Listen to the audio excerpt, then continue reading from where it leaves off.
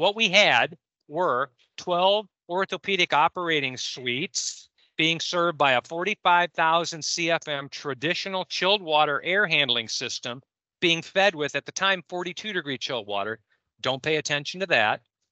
And this unit was trying to maintain 60 degrees Fahrenheit at 40% relative humidity in the space, which is a 36 degree dew point temperature. Now, the reason they wanted such low relative humidities was simply that these are orthopedic operating suites, 12 of them. They have heavy hitting doctors making all kinds of money for this hospital and they want to be comfortable. And the problem with ortho surgeries are that the surgeons are typically heavily garbed. They are wearing two or three layers of outer garments, perhaps on top of their scrubs. In addition to that, they're wearing space helmets, they're wearing gloves, they're wearing booties. They are hermetically sealed. And the problem is as well that they are working very hard. If you've ever seen orthopedic surgeons work, they many times are wrestling people, sometimes people that are of considerable weight, into position to saw them apart, put them back together. And if you look at the arsenal of tools that an orthopedic surgeon has at their disposal and that they use during surgery, they have saws, they have hammers, they have chisels, they have everything but a jackhammer. And you would swear at times it looks like they are building a bridge. And the problem is they become hot. They become taxed, right? They're working hard and they begin to sweat underneath all that gowning. And the problem is that if the environment that encapsulates them, that surrounds them, isn't dry enough to be able to wick the moisture off their skin through multiple layers of clothing, they cannot maintain their comfort. We know that the evaporation of perspiration from our skin accounts for about 25% of our body's ability to maintain its thermal comfort. And if you can't perspire and sweat and have that sweat evaporated because it removes 1060 BTUs per pound, you will not remain comfortable. So doctors think they are hot and they will yell at the at the nurse on staff that's in charge of the environmental conditions, make it colder and the nurse will crank down the thermostat or the facilities manager will jump onto the BAS system and crank the temperature down. And you know what happens when you lower the temperature in a space without changing the temperature of the refrigerant that's dehumidifying the space? The relative humidity shoots up. So it goes from maybe 60 degrees Fahrenheit at 65% relative humidity to 60 degrees Fahrenheit at 75% relative humidity because we cannot remove further moisture. We chill the air more but the relative humidity goes up. And then the situation is even worse. They can evaporate less perspiration off their skin into the air. So in orthos, they typically want it cool and very dry. In fact, 36 degree dew point temperature is a pretty good spot. Now, to get 36 degree dew point temperature air, I would have to provide drier air to the space at a lower dew point temperature to absorb the load, right? I need 32 degree dew point temperature air based on the load to be able to provide 36 degree dew point temperature air in the space and maintain 60 degrees Fahrenheit at 40% relative humidity. What's the problem with 36 degree dew point temperature in the space? And what's the problem with trying to achieve it with 32 degree dew point temperature air? Well, first of all, I said at about 50 dew point in the space is where desiccants come into play. This is well below that at 36. And as well, if I'm trying to provide 32 degree air, dry bulb, wet bulb, dew point to the space to dehumidify it properly, my coil's a block of ice. This will not work. Now there's one other caveat. At the time, this system was operating with 42 degree chilled water. They kept lowering the temperature of the central plant to try to achieve the, the better humidity conditions that the docs want. Never able to do it even at 42 but what's the problem with trying to make 32 degree air with 42 degree chilled water? It's reverse thermodynamics. That won't work either. So this was destined to fail. No one could understand why. No one put two and two together. They could absolutely positively not achieve the conditions they wanted to achieve with traditional refrigerant based systems. Now, docs were uncomfortable.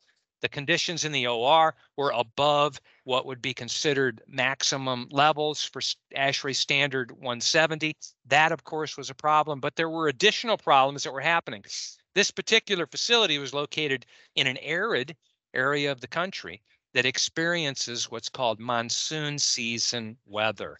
And that's this time of year where very warm but wet air off the Pacific Ocean rolls across arid areas of the country and it creates outdoor air conditions similar to what I'm used to experiencing in South Carolina. And I was just in Texas a couple of weeks ago. What we're used to experiencing there, very, very, very high outdoor uh, grains per pound or dew point temperatures or whatever you want to call it. And what would happen is simply because this system was never designed originally to be able to handle those higher outdoor air relative humidities that were entering the unit and not being processed fully, the relative humidity in the space would continue to climb and climb and climb during those days or weeks on end at monsoon season conditions. And because we were easily able to chill the space and the surfaces to 60 degrees Fahrenheit with 42 degree chilled water, that very humid air would contact those very cold surfaces and condense.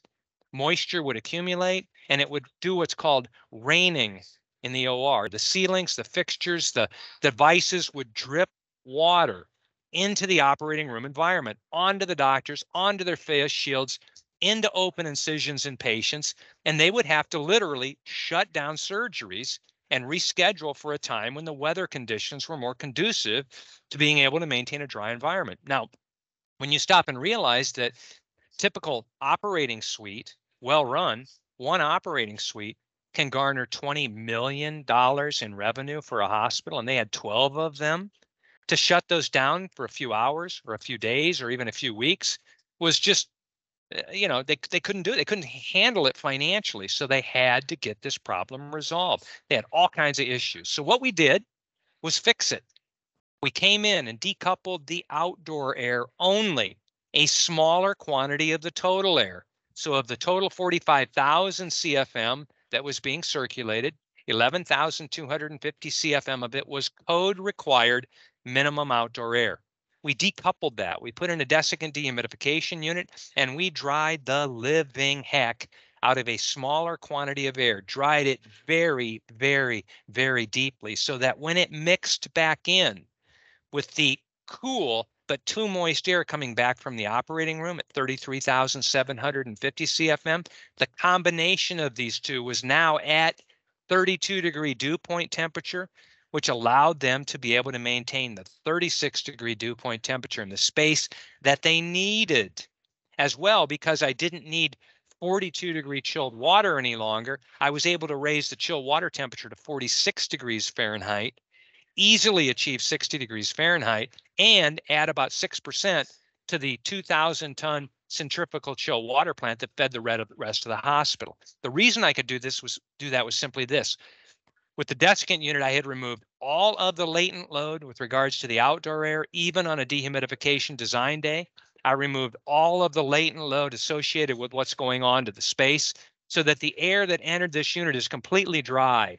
In fact, it's been dried well below any point that would normally create condensation in this system. So now the cooling coil is operating dry. It's operating sensibly only. I simply have to cool the air down a little bit to achieve the 60 degrees Fahrenheit that I need because I've already dehumidified it to where it needs to be to take care of the dew point temperature. In doing that, I was able to take a 12 row cooling coil and replace it with a two row sensible only coil as well because it's operating dry. There's no moisture condensation. There's no more issues with microbial contamination growing on the coil, no more issues with final filters becoming wet and growing microbial contamination through and having it aerosolize into the ductwork, into the air, and get into the space. And as well, the ductwork remains dry. Everything is dry. I could replace the UVC lights, don't need them any longer. If there's no water, there's no my, there's no mold growing, and if there's no mold, I don't need UVC lights. And as well, I eliminated all the reheat because in this process, the air is heated up slightly to a point where all I need to do is sensibly cool it back down to provide the condition of sensible and latent air to the space. I don't have to drastically overcool the air and then reheat it back up. And I eliminated reheat. So the boon in efficiency for this hospital was tremendous. This from a standpoint of getting rid of microbial contamination and its potential to impact hospital acquired infections or surgical site infections in the space was phenomenal. And as well, keeping doctors comfortable and keeping the space always in compliance with ASHRAE standard 170, but even during monsoon season weather and never having to shut operating rooms down because of environmental issues with too much humidity and moisture condensation on surfaces was uh, you know, was a simple payback of basically a month or so with regards to this retrofit. So this was a very, very, very well received environmental upgrade, a very well received energy efficiency upgrade, and as well a very well received sustainability initiative for this hospital. And with that, I'll stop real quick.